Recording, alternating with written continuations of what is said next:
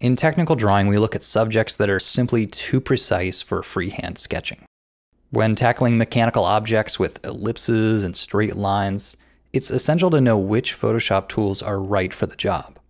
Even though we'll be using vector tools, the workflow that I encourage is as streamlined and simple as possible.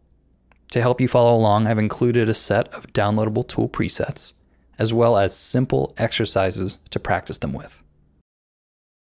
Even if you've been avoiding vector tools on this path towards better line work, technical drawing will truly enhance your digital craftsmanship.